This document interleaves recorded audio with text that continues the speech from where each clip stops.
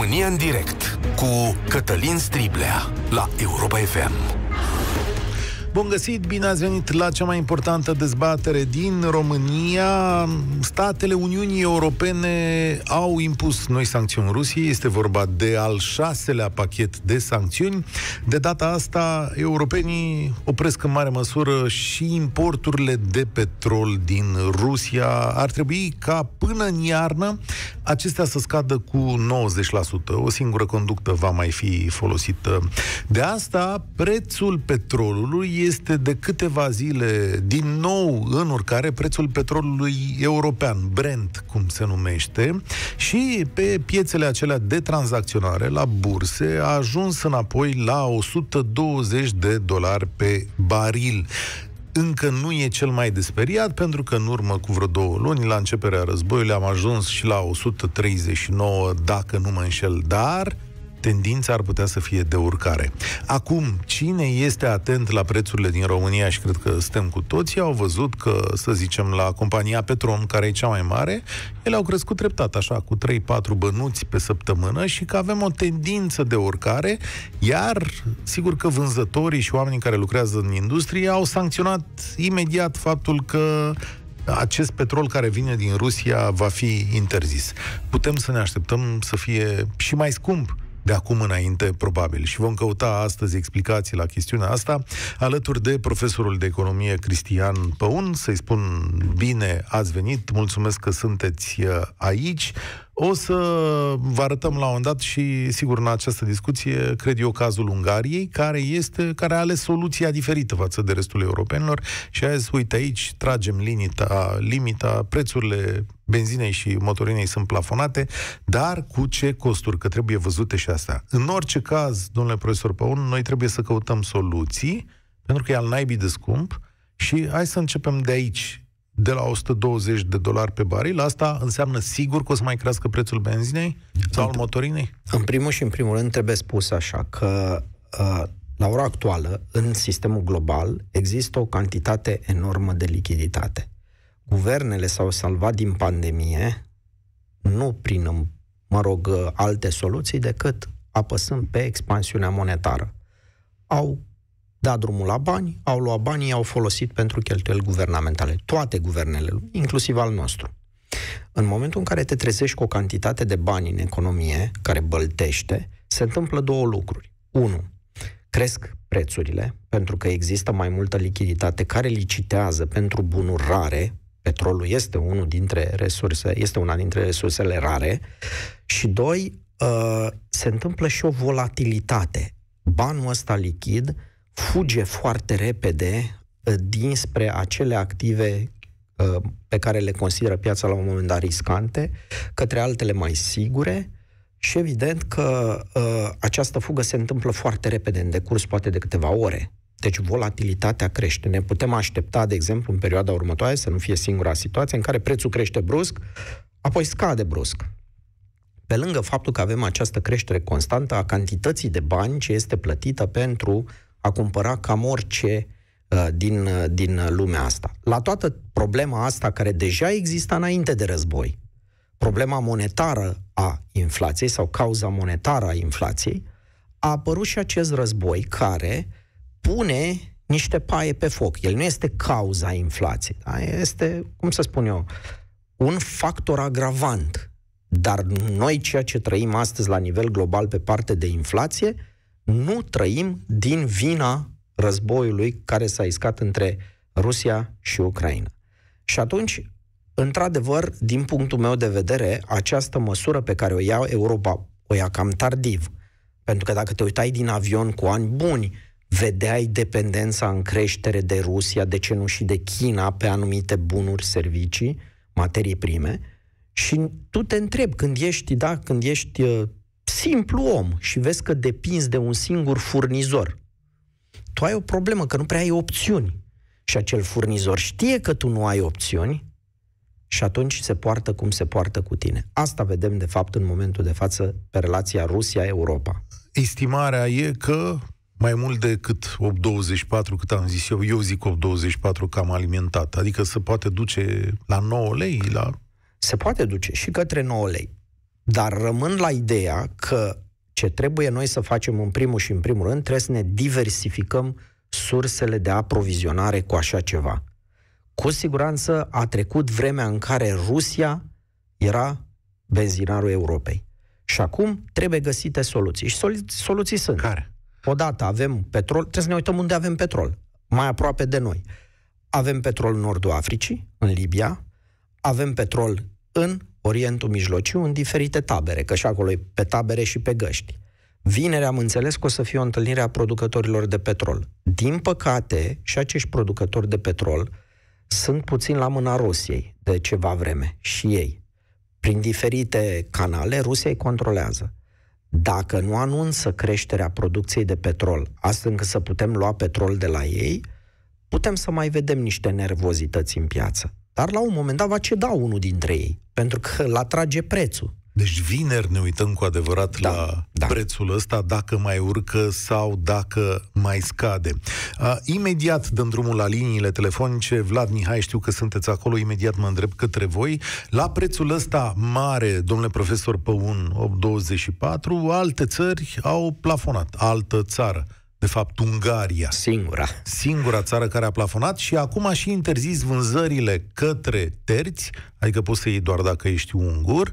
De ce acest lucru? Pentru că devenise cum ar fi benzinăria Europei, de la 5 milioane de litri uh, pe zi, ajunseseră la 15 milioane de litri vânzări pe zi. Era clar că erau din afară sau lumea își făcea stocuri? Din punctul meu de vedere, Ungaria este studiu de caz. Așa. Cum să nu faci lucruri? În sensul că uh, de mult spuneam și economiștii spun, domnule, când plafonezi un preț, iei un preț arbitrar, să zicem prețul combustibilului și îl plafonezi, la foarte scurt timp ai nevoie de măsuri adiționale pentru că se vor întâmpla unele lucruri. Vor veni străinii din zona de graniță să alimenteze la tine. Vor începe unii să producă cu acest preț plafonat pe spinarea pusă, în primul rând pe spinarea producătorilor și comercianților de produse de acest tip în Ungaria, vor începe să facă profit alții, pentru că la alte produse care înglobează, de exemplu, acest carburant, prețurile nu sunt plafonate. Acolo sunt prețuri libere. Și atunci tot profitul pe care îl pierde, de fapt, benzinarul, câștigă companii care produc bazându-se pe acel petrol. Și atunci noi, consumatorii, în final, vom începe să cumpărăm ba petrol din Ungaria, ba lucruri care se produc în Ungaria, mai ieftine, și în felul acesta, cumva, noi beneficiem da, de această, această situație. Problema este însă că Ungaria nu are petrol. Și a cumpără acest petrol în baza unei înțelegeri cu Rusia la un anumit preț, mă gândesc, care să-i permită această plafonare. Numai că n-ai cum să ții pe termen lung această relație și n-ai cum să ții pe termen lung această situație. Tu să ai cel mai mic preț de aprovizionare la uh, petrol de la prietenul tău. În acest moment, ca să știe lumea, sunt benzinării mici care s-au închis în Ungaria. Guvernul maghiar dă o subvenție de 20 de forinți la fiecare litru, dar nu acoperă pierderile pe care le au uh, benzinăriile respective și nici producătorii. Da? Deci s-au închis, există proteste ale benzinarilor, o dare în judecată la curțile europene de la uh, Strasburg și, și Bruxelles și amenințarea că afacerile vor merge din ce în ce mai prost. Astea sunt primele consecințe. Dacă o mai țin mult, până pe finalul anului, eu garantez că ungurii nu o să mai aibă de unde să alimenteze. O să vină la noi. Să nu uităm că în Ungaria s-a mai întâmplat un lucru. Compania care are, uh, e de origine maghiară și care vinde și la noi produse petroliere, a făcut și următorul lucru. A trecut ușor pe prețul țărilor din jur pierderile pe care le are din Ungaria. Dar nici aici nu poți să faci foarte mult, pentru că, de exemplu, în România e o concurență destul de mare pe piața aceasta și atunci compania respectivă și-ar fi dorit poate să pună mai mult în prețul cu care vinde carburantul la noi uh, ca să acopere pierderea. N-a reușit. 0372069599 România în direct cu profesorul de economie Cristian Păun. Repet telefonul 0372069599. La dezbaterea de astăzi vă întrebăm așa. Ar trebui plafonate prețurile la carburanți chiar cu riscul acestor pierderi de care vorbim? Adică merită discutat cum ar trebui să procedeze statul român în cazul unor noi scumpiri, care și astea sunt de așteptat, și care e de fapt limita suportabilității, adică până unde puteți accepta prețul la benzină, adică 9 lei, 10 lei, unde nu se poate mai mult de atât. 0372069599 Vă aștept la dezbatere la România în direct. Dacă sunteți de acord, domnule profesor, deschidem liniile. Vlad este primul care a sunat. Salutare! Bună ziua și felicitări pentru emisiune. Da, o emisiune interesantă ca toate celelalte, ce să zic. Într-adevăr, suntem o țară cu potențial din toate punctele de vedere. Discuția poate să fie foarte lungă, dar ce vreau să zic, ar putea fi plafonate, mai ales ținând cont de salariile mici, majoritatea salariilor și pensiilor mici din România, care de fiecare dată când în alte state sau când Europa sau țările occidentale o duc bine, la noi nu se resimte din punctul ăsta de vedere financiar, ar putea fi plafonate măcar la un plin pe săptămână, pe lună, mă scuzați, pentru cei care se folosesc de mașini. Într-adevăr, sunt și foarte multe mașini care circulă, drumurile foarte aglomer, aglomerate, dar ce zic eu, ce a făcut Ungaria, nu sunt eu în măsură acum să spun, nu sunt uh, expert, dar posibil, nu, eu zic că nu se afecteze cu absolut nimic după toate astea. Din contră, pe noi ne va afecta în sensul, vor crește toate prețurile, de la pâine până la curente, că toate se, deci toate prețurile se raportează de ce la că nu se afecteze? Adică... Eu spun că nu se afecteze. Eu așa consider, pentru că eu n-am văzut niciodată să sufere, nu știu ce să spun, sunt puțin mai nu sunt unguri, sunt și oameni ca noi, mulți am văzut se supără dacă anumit îi laudă sau vorbe, dar au puțin coloană în fața, în fața anumitor, anumitor, anumitor reguli care ni le impune Europa și NATO. Noi tot timpul, de fiecare dată, suntem în genunchi și uh, facem orice ni se spune, dar nu niciodată nu suntem uh, și la bine, uh, luați în seamă. Și aici vreau să spun, fac o paranteză și puțin mă deviez de la subiect, legat de vizele de America. Ungurii nu au viză, pleacă fără vize în America. Românii pleacă uh, cu vize. 300 de dolari o viză pentru America. Uh, nu mi se pare normal la câte face România pentru Statele Unite. Da, deci sunt multe să, lucruri de discutat. Și... Deci noi tot timpul, tot timpul, când orice criză, România este printre primele țări care ia măsuri. Accept și un răspuns păcate, la chestiunea asta, da. că aici știi cum e, da, cu da, da, da, da, da. da. Uite, domnul Fo- Foarte scurt. Să știți că în Ungaria se vor întâmpla și se întâmplă deja lucruri legate de uh, rețeaua de distribuție de combustibil. Tocmai ce a spus domnul Strible aici în emisiune, că sunt pierderi foarte mari la nivelul distribuitorilor de așa ceva, primii care cad sunt distribuitorii. Dar să știți că se vor întâmpla niște lucruri pe care teoretic noi nu le vedem din avion. Ca vă dau un exemplu. Cu da. pierderile pe care le au din această măsură, foarte mulți da. benzinari din Ungaria vor rări benzinăriile. Și vei găsi o benzinărie aici, o benzinărie peste zeci de kilometri. Vei, vor uh, reduce activitatea în aceste benzinării la minim posibil și nu vei mai găsi foarte multe lucruri sau din potrivă vei găsi foarte multe lucruri și benzina pe aici, pe acolo pentru că nu, de, nu este o activitate profitabilă pentru acești benzinari.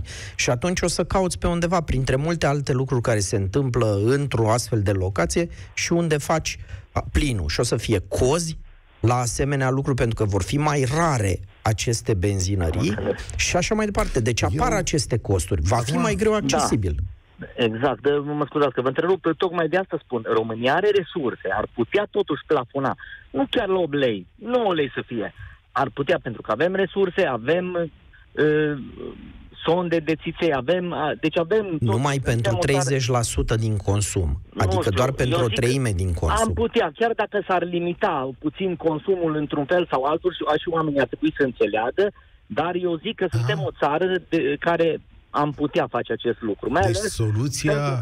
Vlad, asta e foarte interesant. Deci, da. pas cu pas, în momentul în care te întâlnești cu argumentele economiei reale, tu singur spui, doar și le dar mai bine limităm, adică raționalizăm consumul.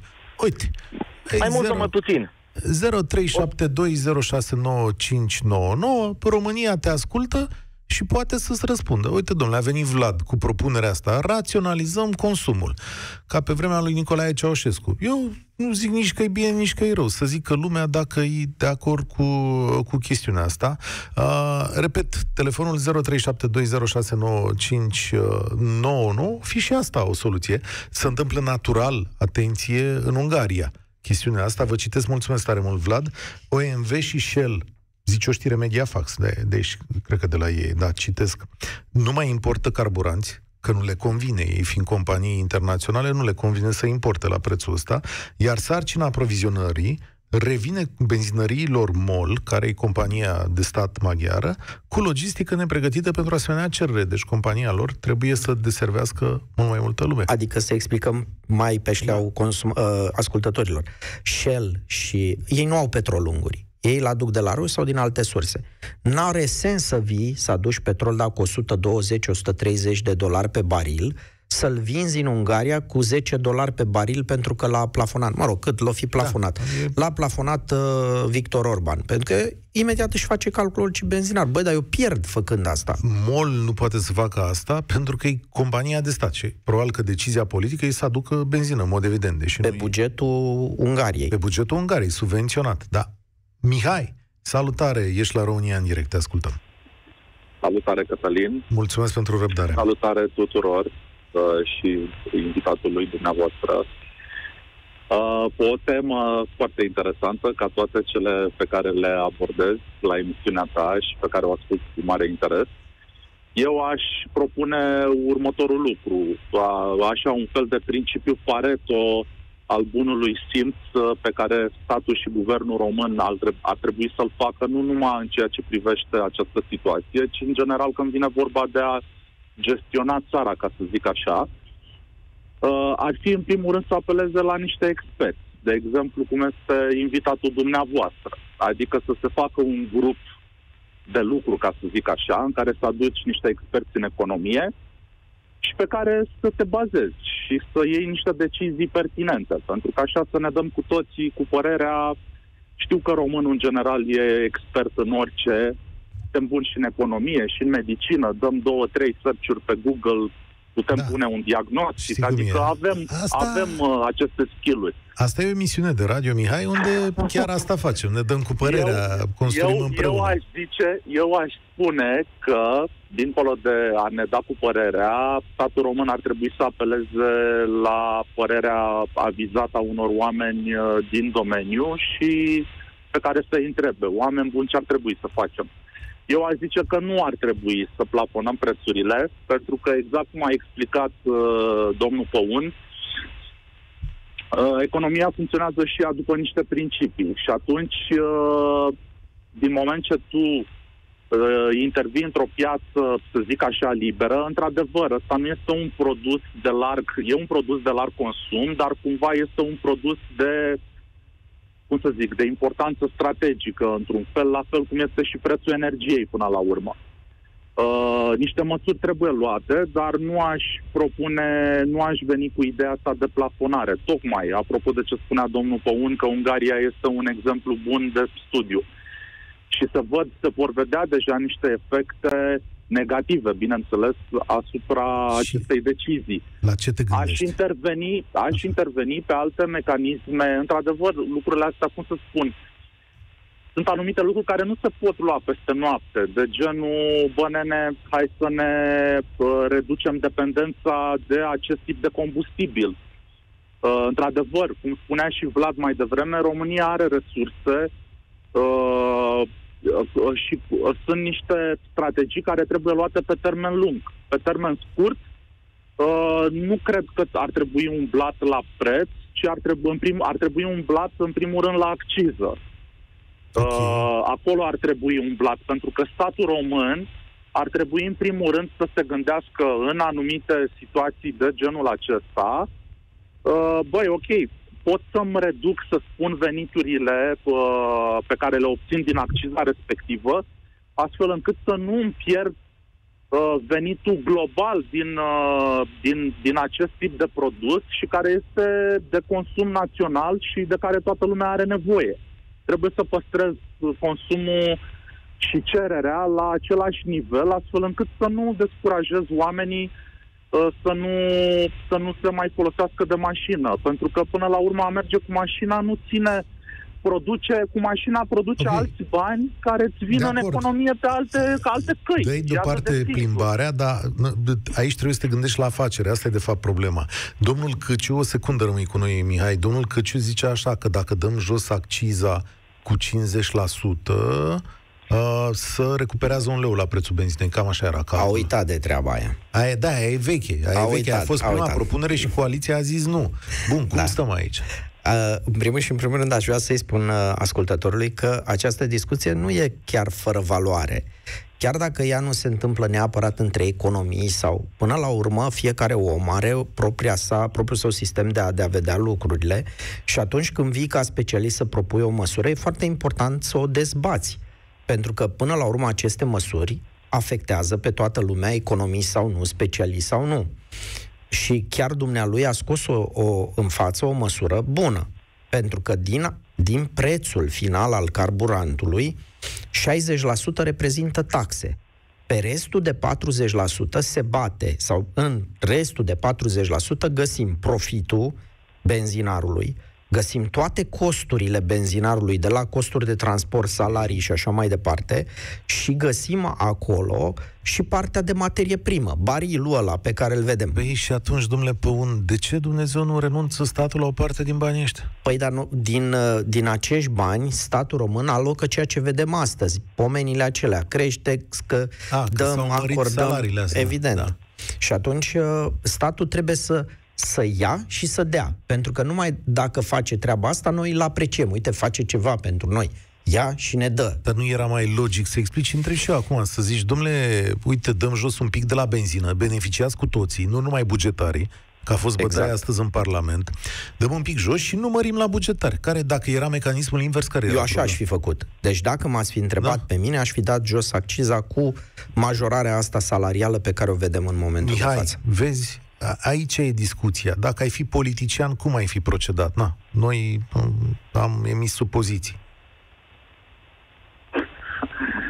Da, ce, ce pot să spun? Cu siguranță aș apela la un grup de avizat de experți și ok, cu siguranță sunt de acord cu domnul Păun. A fost așa într-un spirit uh, critic, ca să zic așa, legat de anumite decizii pe care statul uh, român le ia de cele mai multe ori neinspirat, uh, bazându-se pe niște oameni care au competență zero. Îmi cer scuze, dar nu am deloc încredere în părerea domnului Câciu. Uh, ministru, acum ministru. e prea târziu să... Da, sigur. Uh, Domnul pare ministru, foarte rău. N-am, nu-mi spune nimic dânsul, din punctul da, vedeți, de uite, vezi, uh, domnul Căciu aici îl critici, dar domnul Căciu a propus o măsură cu care, pe care o vrei și tu, a zis, domnule, tem de la acciză. Da? Și tu și el sunteți de acord cu măsura. Dar Coaliție? care are o problemă măsura asta pe care n-a spus-o da. nimeni sau am tot da. spus-o. Da. Noi suntem pe deficit excesiv. Sigur ceea ce înseamnă că orice tăiere de acciză trebuie să fie raportată și avizată de Uniunea Europeană. Care nu se aprobe. Și care o să spună, întâi no. rezolvați-vă problema okay. deficitului, cheltuiți prea mult față de cât uh, obțineți ca resurse și apoi aveți spațiu fiscal să faceți ce vreți voi.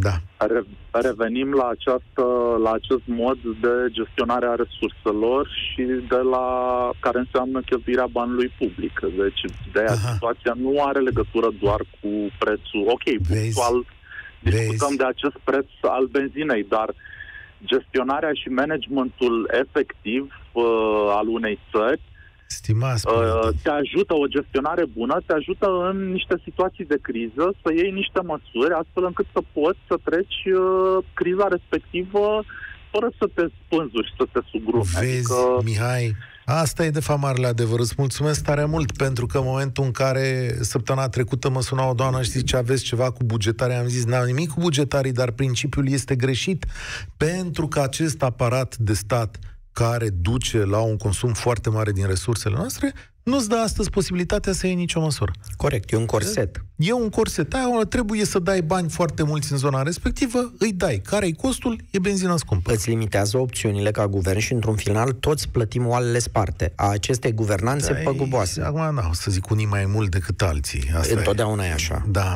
Ciprian, salutare, ești la România în direct alături de noi, profesorul de economie, salut. Cristian Păun. Salut. Căutăm Vă salut. soluții la prețul benzinei. Da, uh, înainte să intru în direct, m-am documentat un pic și uh, am văzut că în 4 iulie 2008 barilul era 141 de dolari. Da, la criza anterioară. La când... Da, iar litru de motorină era undeva la 1,35 lei. Pe un leu? litru de euro, da? De 1,35 euro. 1,35 da. euro. Dar euro no. era... Asta... Dacă am păstra aceeași valoare de 1,35 și am calculat cu prețul de astăzi, are și undeva la 1,675. Păi da, dar avea euro al preț.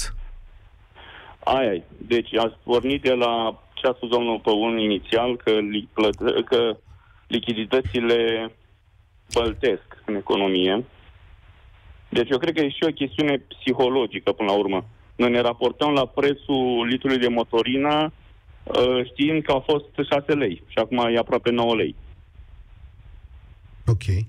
Da. Da, dar At- practic... Atâta timp, uh, eu vreau doar atâta să spun, atâta timp cât vânzătorul de benzină își găsește în piață cumpărători suficienți cu prețul de 8, 9, 10 lei, 15 lei și își găsește acești cumpărători fără ca el să intre pe pierderi, înseamnă că acela e prețul corect. Există da, oameni care pot cumpăra. La cifre, dar ele sunt uh, relative, pentru că o 6 lei de acum un an e probabil 9 lei de acum. Eu nu știu, dacă vorbiți, de, dacă vorbiți de 6 lei din 2008, probabil prin actualizare și așa mai departe, banii ăștia astăzi ar fi undeva pe la 8-9 lei. Deci cam tot pe acolo e prețul. Da, deci fiind multă lichiditate în, în piață, toate prețurile au, au s-a creat un bulgăre, practic. Exact. Da. Și eu, de exemplu, în momentul de față, mi-am, fiind uh, privat, și mi-am mărit tarifele. Ideea următoarea, că din tot jocul ăsta cineva totuși câștigă. V-au, v-au scăzut vânzările făcând asta? Nu, nu, nu mi-au scăzut vânzările, eu sunt prestator de servicii, nu mi-au scăzut nici prestările de servicii. Uh, deloc. Pur și simplu am uh, mărit și eu prețul, s-a mărit prețul, tot acolo sunt. Vedeți, dar sunt, mai bine. sunt unii care făcând treaba aceasta și oricum și dumneavoastră, eu vă sfătuiesc să urmăriți da. această treabă uh, cu foarte mare atenție în următoarele luni, pentru că sunt foarte mulți care pot face treaba aceasta, poate e cazul dumneavoastră, nu știu neapărat ce vindeți, dar sunt unii care încercând să facă treaba aceasta, se trezesc că nu mai au vânzări. Da, păi aici vreau să ajung. Deci în uh, tot uh, universul ăsta economic, cineva totuși pierde. Pierd cei care nu își pot mări uh, venitul, adică bugetarii la un moment dat și pensionarii și cei care sunt legați de un venit acordat de stat.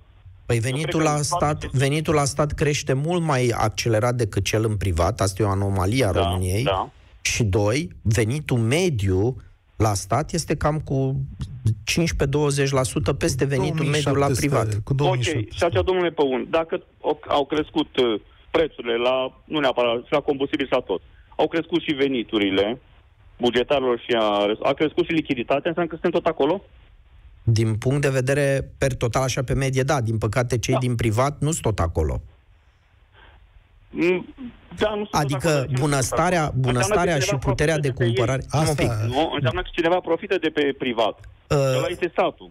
Da, statul mo- cumva mo- profită de pe privat, într-un da. fel, pentru că dacă uh, au crescut exponențial toate, au, în aceeași măsură, și prețurile la utilități și la combustibil și la ce vreau și salarii și tot, ar trebui să fim cu două, trei scări mai sus la tot, dar tot acolo să fim. Din, din păcate, guvernările din ultimii ani au pus foarte mare accent pe această pedală a bunăstării prin stat, prin uh, creșterea prosperității celor de la stat, uh, prin mărirea numărului de locuri de muncă la stat, prin comparație cu ceea ce se întâmplă în privat. Și atunci, în final, da, bunăstarea per total pe România crește, doar că se face cu prețul uh, unei creșteri mai încete sau poate chiar deloc în zona sectorului privat.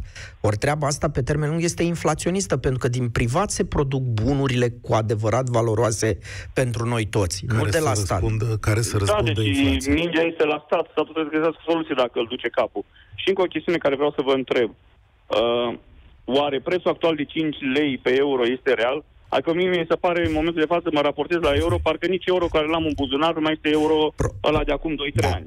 Uh, Pro- problema e, e mult mai complicată E posibil discuția. ca prețul lui real să fie undeva la 7 lei în momentul de față. Și Putem, uit, Să uitați, vină- putem, putem să discutăm treaba asta într-o nouă emisiune, Da, dacă e. uite, e, rămâne e o ideea chestie asta de complicată. emisiune. Da. De, e complicat de explicat. În general, dacă inflația la euro este identică cu inflația la leu, mare, mică, 10% Da, și la ei, da. 10% și la noi, Tot paritatea acolo. între cele două monede e- rămâne fixă.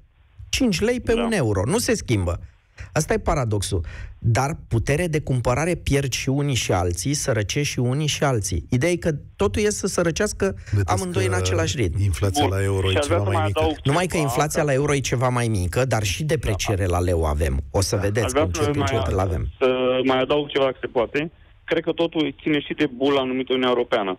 Pentru că dacă ne raportăm la Statele Unite, astăzi, de exemplu, barilul e, uh, undeva la 4,4 euro. Aia înseamnă un Galonul. euro, 3 Nu, nu, pe cred litru. că uh, vă referiți la galonul la vânzare. Cum vând ei galonul? Da, la vânzare, da. La vânzare, E deci- 4,4 uh, Dolari pe galon, euro, un galon. un galon. Ok. Galonul e și... 378 Da. litri.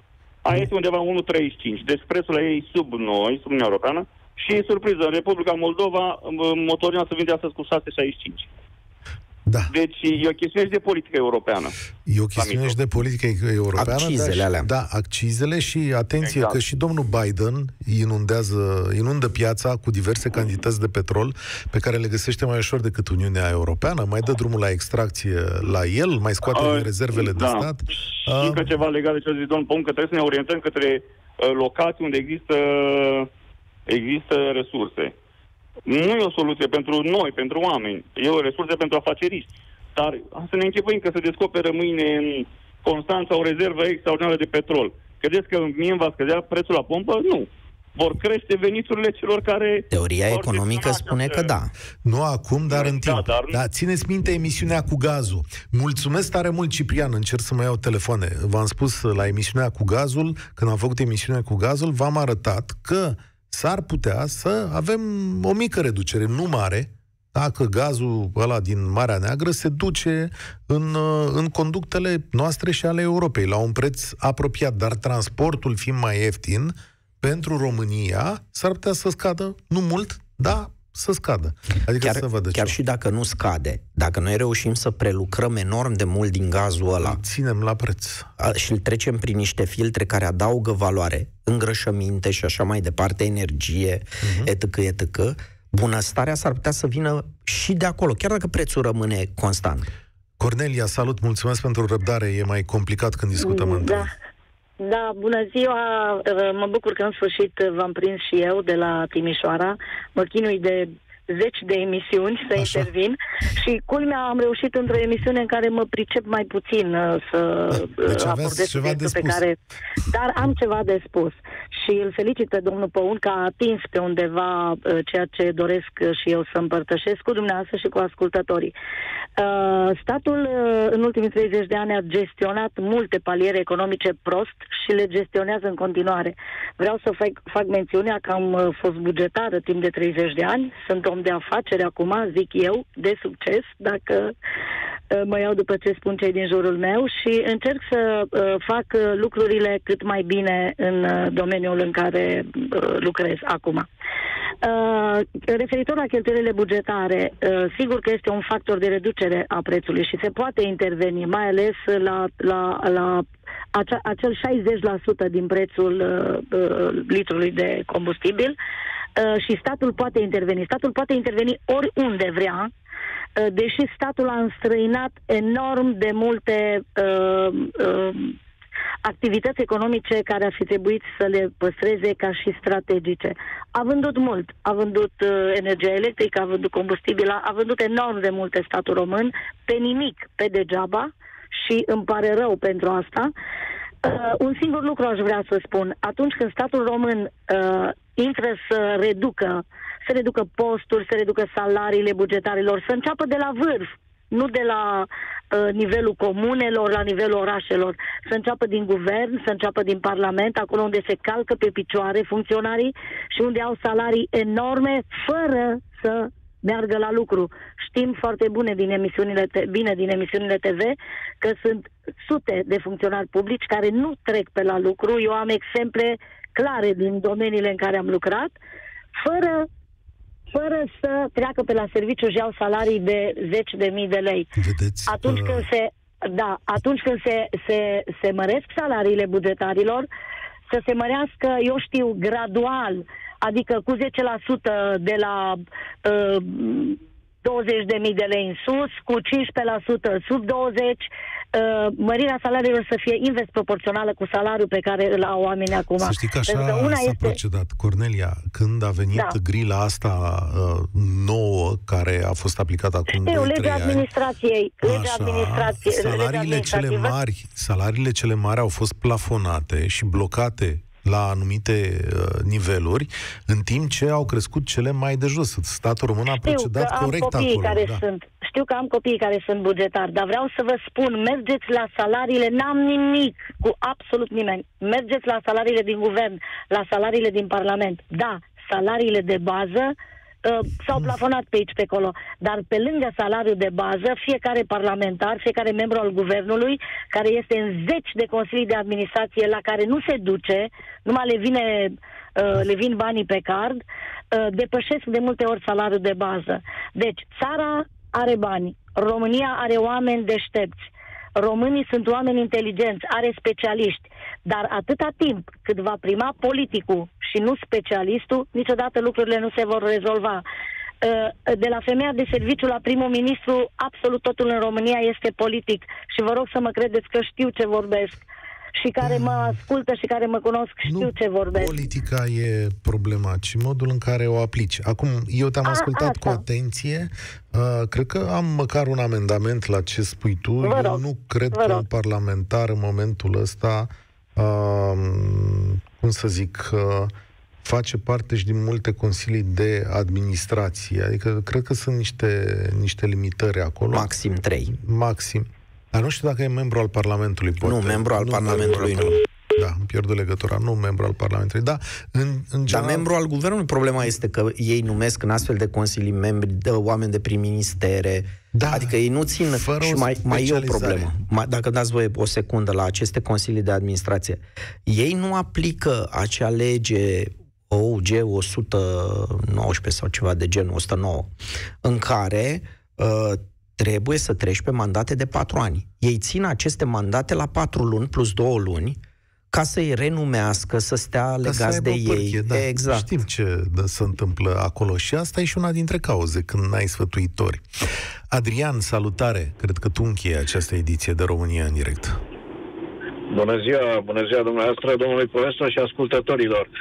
Uh, ceea ce s-a mai spus mai înainte și anume că statul e principalul beneficiar, uh, cred că este clar pentru toată lumea și Al nu numai inflației, da. a ceea ce se întâmplă legat de carburant, energie, cât și a tuturor scumpirilor, pentru că până la urmă taxa finală, mai ales TVA-ul, crește în proporție cu prețul, deci statul ia mai mult pe sumă. Uh, după aceea, în cazul carburantului, avem și taxă pe taxă, pentru că TVA-ul se ia inclusiv uh, asupra accizei care e cuprinsă în preț. Se Și atunci pune am la final, încercat da. pe, tema, pe tema dumneavoastră să încerc o altă abordare.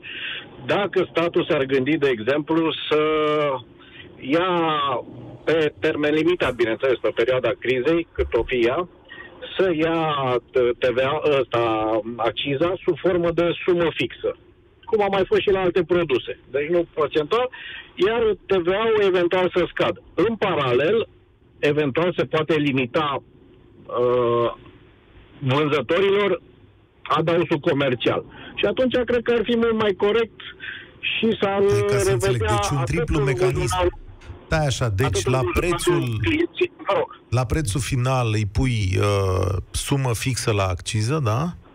Așa, da. după care zici tu plafona profitul. Profitul comercianților, da? Profitul am înțeles. Comercianților. Adică marja. Păi da, dar e, co- e complicat aici. Aici e complicat pentru că sunt unii care au finanțare, unii care nu, adică plătesc dobânzi în costuri, alții care nu. Sunt unii de care sunt mai depărtați de oraș și au costuri de transport și distribuție mai mare, alții care sunt mai apropiați de sursa de petrol.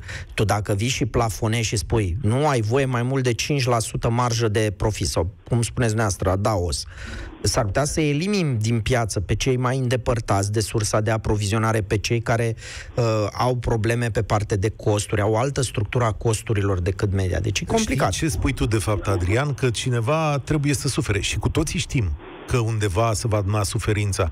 Întrebarea e unde o duci? O duci la stat? O duci la tine în buzunar? O duci pe spatele unor uh, benzinării? Care e alegerea corectă? Păi, deocamdată, cei care plătim suntem noi sub diverse forme, adică direct carburantă sau indirect în toate produsele, adică deocamdată plătește tot omul, dar asta e rolul lui, să plătească taxe, nu? Că așa suntem. Acum depinde cât de mult și cât de mult ne îndreptăm spre a proteja și consumatorul sau uh, afacerile sau restul. Și statul cât e dispus să, cum să spun, câtă decență are statul, de fapt, că altfel... Bună observație, mulțumesc tare mult. Domnule profesor Păun, mai avem 45 de secunde. Super, vreau să concluzionăm și aș spune așa. Ar trebui să discutăm două tipuri de măsuri. Odată, la nivel guvernamental, părerea mea că cea mai bună măsură rămâne re, uh, configurarea taxării pe carburanți, însă vreau să vorbim puțin și la nivel individual. Până să așteptăm noi ca tătucul să facă ceva pentru noi, sfatul meu pentru ascultători este să se gândească foarte atent la un plan personal de reducere a dependenței de carburanți la nivelul familiei. Văd foarte ma- multe mașini cu o singură persoană în mașină, văd foarte multe familii cu două mașini, se refuză sistematic folosirea transportului în comun, a bicicletelor, a mersului pe jos pentru orice iei mașina. Haideți să vedem puțin, pentru că nu e în regulă ca tu să te plângi de întreaga situație, dar să refuzi sistematic să reduci niște lucruri. E greu să ceri sacrificii, Vă... dar Vă întăresc ideea, domnul profesor Păun a venit astăzi la exact. radio cu trotineta, așadar și gândiți-vă și cu trotineta și cu metroul. Mulțumesc tare mult de participare, ne auzim și mâine când e ziua copiilor, eu te zi liberă.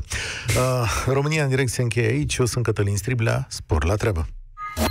România în direct cu Cătălin Striblea la Europa FM.